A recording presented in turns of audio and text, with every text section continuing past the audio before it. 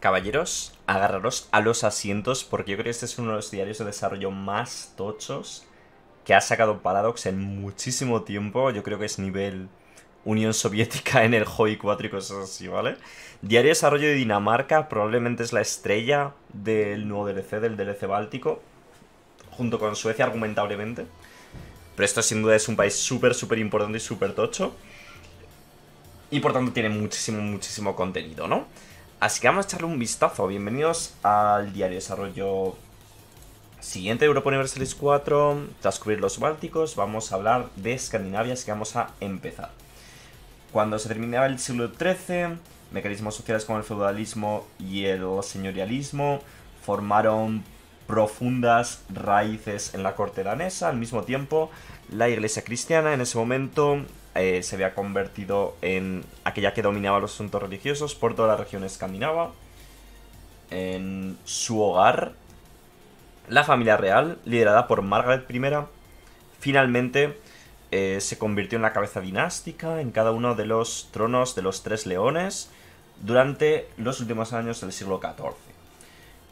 Con el Tratado de Kalmar de 1397, las coronas nórdicas de Noruega, Suecia y Dinamarca eh, se iban a unir en una única y desde su concepción esta unión de Kalmar había sido liderada por los daneses, que era la nación más rica y poderosa de los poderes nórdicos, cercana al continente con una ambición a controlar y dominar el mar Báltico. Eventualmente la unión cayó cuando Suecia se independizó de Dinamarca y estableció un imperio propio más tarde. El objetivo del árbol de misiones danés es evitar este destino, y también se centra en las ambiciones que Dinamarca tenía durante la época de U4, así que es un poco menos experimental que el teutónico y el de la Orden Bueno, no, va a ser tan loco como esos, pero bueno, obviamente va a ser chulo, ¿no? Retomar Gotland, eh, que Gotland, claro, a ver cómo va a ser esto, porque Gotland en el inicio actual empieza eh, siendo territorio de Juraría que es territorio danés. No, es territorio sueco, pero está con rebeldes, ¿no? Juraría. Igual con esta misión limpias a los rebeldes y te la quedas tú. O simplemente... Eh, bueno, igual nos lo explican ahora. Estoy aquí haciendo conjeturas, ¿no? Expandir el militar, la corona de Noruega, la corona de Suecia, rivalizar Inglaterra, invadir Inglaterra del Norte, conquistar Inglaterra. Cosas chulas, unir a Escandinavia, eliminar Novgorod, controlar el canal, descubrir el nuevo mundo, colonizar la Costa de Oro, eh, la escena europea es gigantesco, ¿eh? Revocar los privilegios, la, la reforma, la Universidad de Copenhagen, colonizar América. No veo nada de... A ver, igual hay algunos eventos o algo, pero me ha molado algo de Hamlet, tío, la verdad. No veo nada, ¿no? A ver, era un poco calentada mía personal, ¿no? Pero me hubiera gustado ver algún detalle. Quizá con lo de Inglaterra, ¿sabéis?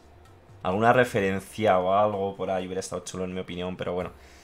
Eh, os daréis cuenta que las misiones danesas están separadas en dos bloques. El primer bloque es la unión de Kalmar de mantenerla unida. Y el segundo bloque eh, son las ambiciones danesas de colonialismo, el tema de la religión, abrazar el absolutismo y el uso de mercenarios como el ejército danés. Nos vamos a centrar en el bloque de Kalmar primero, ya que tiene que ver con nuevas mecánicas que van a ser exclusivas de Dinamarca con este DLC. Empezarás cuando empieces con Dinamarca y tengas activo el DLC, te enfrentarás a esta reforma de gobierno al comienzo de la partida, la Unión de Kalmar. Una alianza especial de los reinos del norte. Eh, los reinos del norte que se enfrentan al Imperio del Sur, ¿eh? que no suena eso. Bueno, y vemos que tiene distintas cositas, ¿no? Es un eh, gobierno exclusivo de Escandinavia provee cambiar de tipo de gobierno, tiene la elección de Kalmar y no puede integrar ni abandonar uniones personales. Tiene más consejeros disponibles y dos relaciones diplomáticas extra, por lo tanto es gratuito tener em, esas uniones personales, lo cual inherentemente, al menos de primera, es un bufo bastante tocho a Dinamarca. 15% más de influencia de la nobleza, por cierto, ¿no? Vale, es algo un poco mixto para el jugador. Por un lado, los consejeros extra y las relaciones diplomáticas extras son algo bastante bueno, pero por otro lado tienes que eh, ver que no puedes integrar ninguna unión personal y también tienes que lidiar con la elección de Kalmar, que es una mecánica nueva y exclusiva, ¿no? Em, bueno, ni Suecia ni Noruega tienen una monarquía hereditaria, sino una monarquía electiva. Así cuando tu rey muera siendo Dinamarca, mientras que tenga esta reforma de gobierno activa, tendrás el siguiente evento. El nuevo, el, el nuevo arquirrey. Uy, ¿cómo se traduciría arquirrey? Archirrey, ¿no? Sería como arzobispo, pero archirrey. Eh, arzorrey. Supongo algo así, de Dinamarca. Han coronado a Cristian I en Esjeland y ahora es el archirrey de Dinamarca y de la Unión de Kalmar. ¿Y qué pasa? Nuestras uniones personales amarán a Cristian. Asume el poder de la Unión de Kalmar sin darle privilegios extra a las uniones ni a los nobles. Esto puede resultar en un rechazo de la elección del regente. Y elegirían a su propio rey.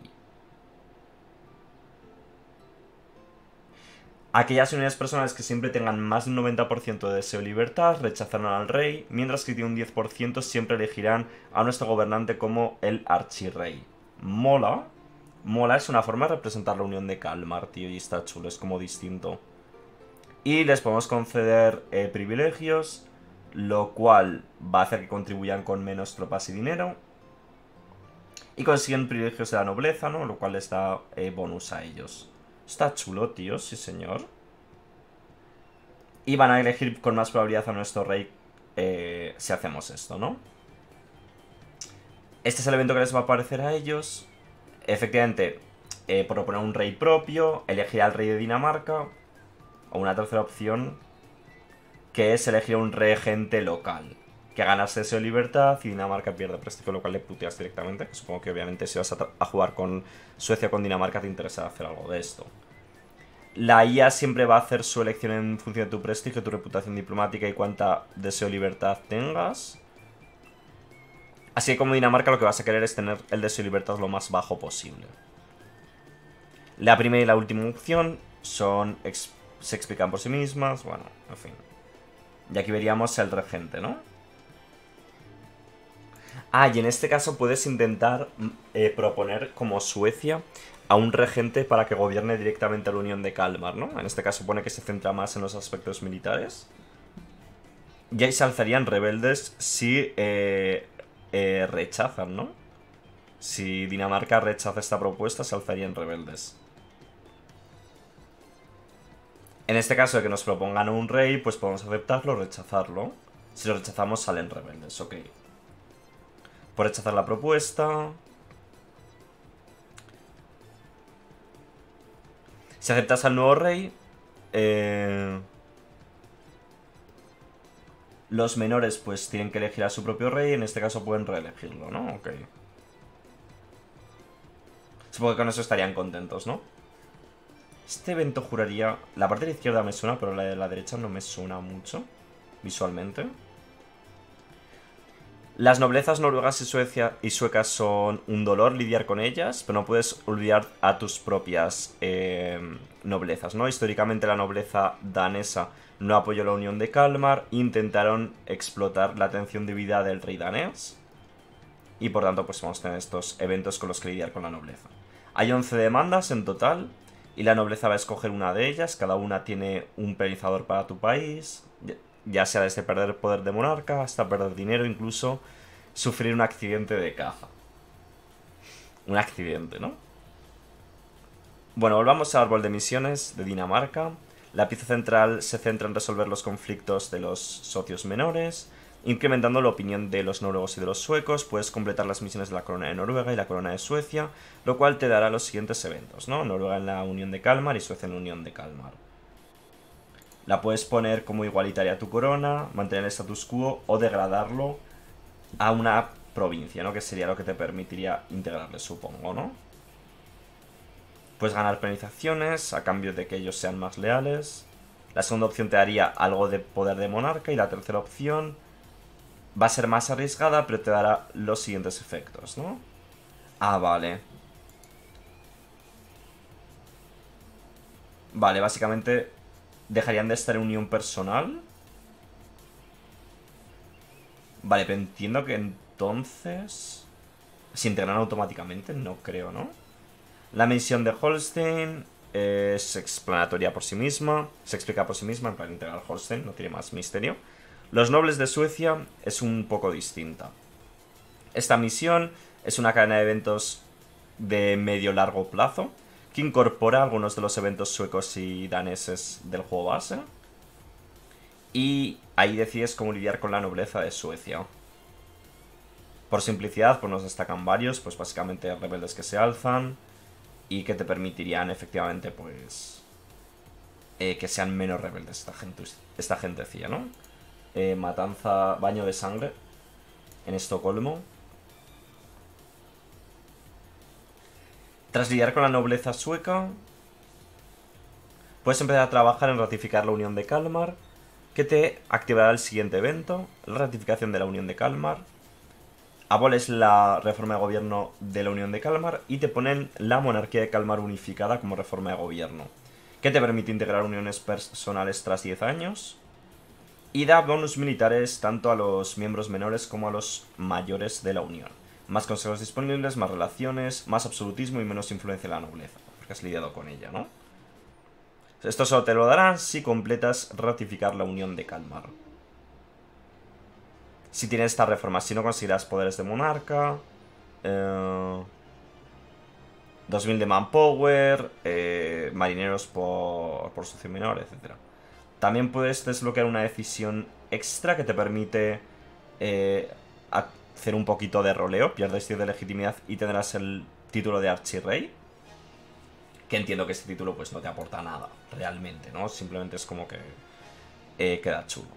Históricamente, solo Christopher III se dijo que era Archirrey.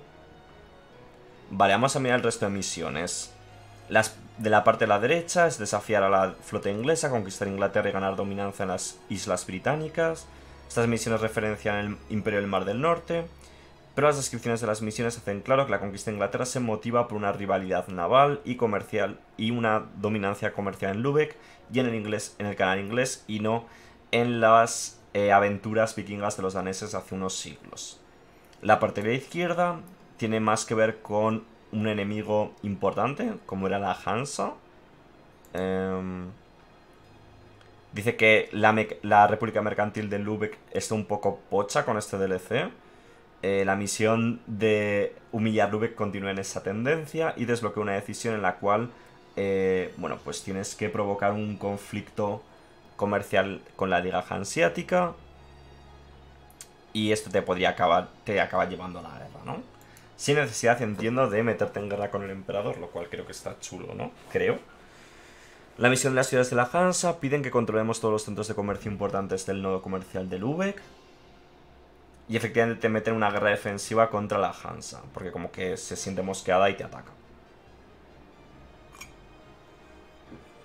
Ahora que hemos lidiado con los asuntos europeos, parte del árbol de misiones, es hora que nos hablemos del segundo bloque de misiones. Las misiones de las ambiciones coloniales son la parte más grande de esta parte de la del árbol de misiones y cubren las ambiciones coloniales de Dinamarca y se centran en colonizar em, regiones importantes de valor comercial y se centra un poco menos en el nuevo mundo en este caso, ¿no?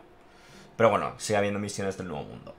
La segunda parte de este árbol de misiones son eventos de sabor que tienen que ver con la Iglesia Católica y la Reforma. Efectivamente un poco desbloquear, ver un poco qué pasa aquí, ¿no? Si te haces protestantes, ser leal a la Santa Sede, o la comunicación entre ambas fes puede sellar la herida. Una misión importante es la expandir la reforma o la de la liga religiosa, lo cual eh, desbloqueas al tomar las misiones católicas o reformadas, lo cual lo que la hace especial es que está relacionada con la guerra de la liga religiosa y si completas y las completas al ganar la guerra religiosa y te recompensa con 2 de habilidad militar para tu monarca y más 150 de opinión de todos los miembros del Sacro Imperio que sigan tu religión lo cual hace que te conviertas en el siguiente emperador mucho más sencillo. Una cosa importante pero pequeña que quiero mencionar es la que tiene que ver con los mercenarios. Como muchos de vosotros sabéis, Dinamarca no era conocida por su poderosa fuerza militar. En vez de soldados daneses, los reyes de Dinamarca confiaban en mercenarios alemanes que servían a las arcas del monarca, ¿no? La misión de los mercenarios alemanes lo enfatiza, mejorando la opinión de distintos propietarios de eh, las compañías eh, mercenarias alemanas, podrás completar esta misión y conseguir el siguiente evento, los mercenarios de Alemania. Esos mercenarios demostrarán su valía. Desbloqueas un montón de compañías mercenarias que son un 15% más baratas eh, hasta el final de la partida y más 10% de soldadesca mercenaria. Y no nos cuesta nada de profesionalismo mientras tengamos el modificador activo. Esos mercenarios que desbloqueemos dependen de eh, que propietarios de esta compañía mercenaria tengan buena opinión de ti. Y en el caso de Dinamarca, en este caso Dinamarca había incrementado las opiniones de Sajonia, Hesse, Gutenburgo y Suiza. Y eso es todo por el árbol de misiones de Dinamarca. Mientras trabajamos en el árbol de misiones de Dinamarca, hemos revisitado las ideas de Dinamarca. Los reinos de Suecia y Noruega también tienen ideas únicas y poderosas, pero las ideas danesas están un poco pochas Así que hemos querido cambiar esto. Voy a abrir un momento la wiki, chicos. Em, perdón.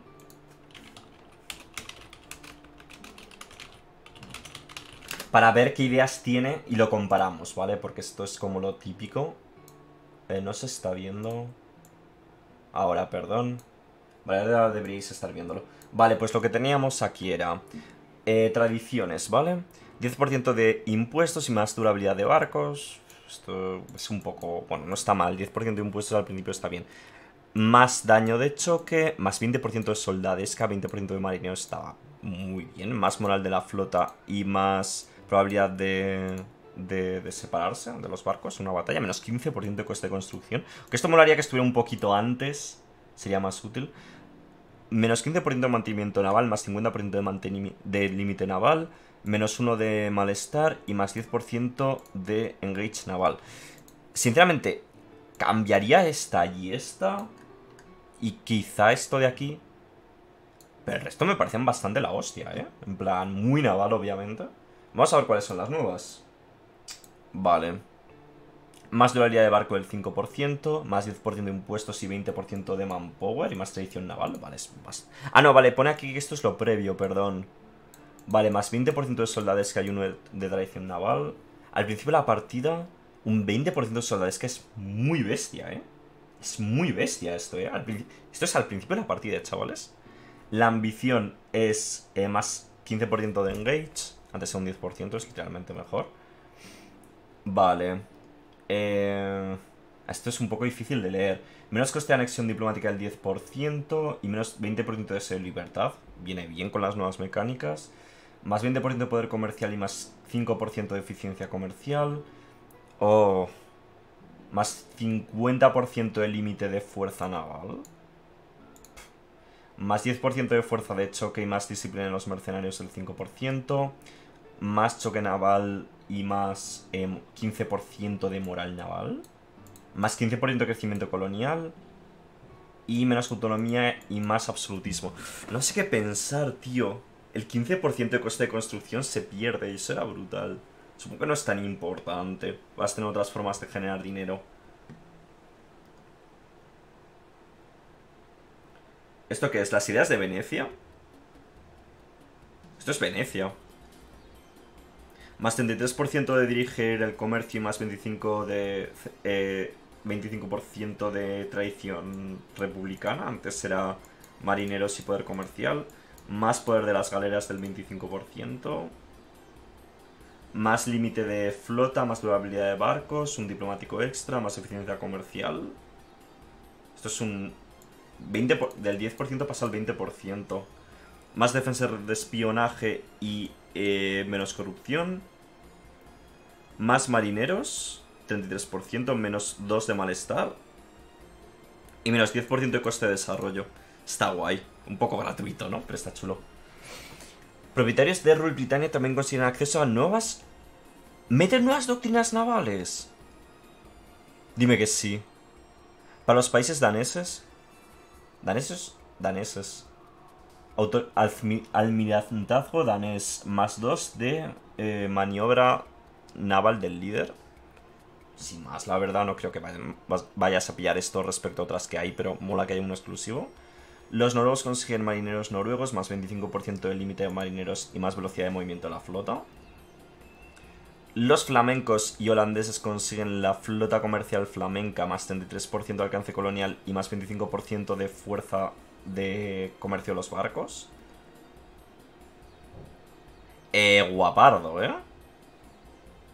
Guapardo, tío, que metan nuevas doctrinas. Por fin, molaría que hubiera alguna más general, la verdad. Porque no me parecen especialmente interesantes.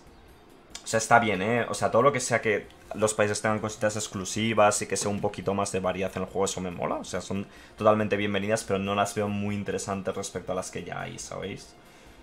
Este está bien, supongo. Y bueno, la semana que viene nos van a hablar del país, pone más OP, más fuerte, tachado, más perfectamente equilibrado en Escandinavia. Pues obviamente Suecia, chicos, llega el bicho la semana que viene, lo hace Paradox el DLC, no podemos seguro que no está nada OP, seguro que funciona perfectamente. Veremos, veremos qué acaban, cómo acaba siendo Suecia. Muy chulo Dinamarca, muy muy chulo Dinamarca. Eh, me ha molado, me ha molado un montón. Pues poco más, nos vemos la semana que viene con más novedades del parche y del DLC báltico. Cuidados chicos, chao chao.